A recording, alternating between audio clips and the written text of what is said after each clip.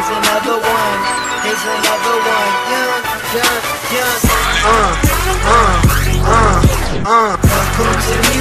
Reporting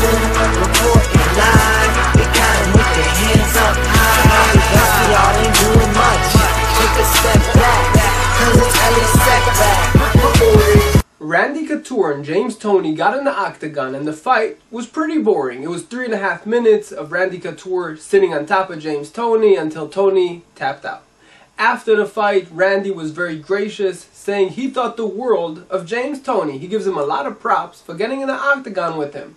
James Toney, you stepped up in there and you're a warrior in my book for sure. There's no way I wanted to stand and trade blows with a guy like that. He's a world champion boxer. It'd be silly for me to do that.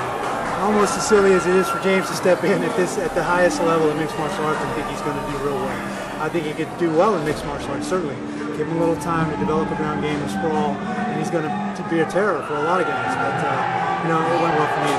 You know, I took it very, very seriously, and I gave him credit from the jump when he decided he wanted to sign on the dotted line and get in there. And I, I respect every single guy, no matter what level, that, that decides and makes that decision and deals with their own heart and their own fear and gets up in that cage. Now, a lot has been said by the boxing promoter. Would you consider fighting him in a boxing match? Because it's been deemed boxing versus MMA, but it's really not. It's just fighting versus fighting.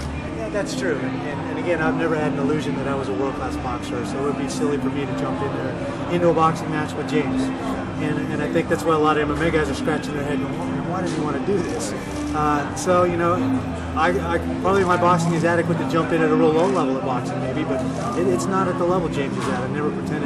So, you know, I, don't think I'll take the, promoter up on that offer. It be stupid. What did you guys think of UFC 118? Most of the fights were boring. I know Randy Couture's fight with James Toney was real boring. It wasn't like the Fedor Arlovski fight with the flying knee, a knockout. That fight was like a minute 30. This was three and a half minutes. It was a sleeper. Putting. What do you guys think? Let me know. In Los Angeles, I'm Elie Seckbach, reporting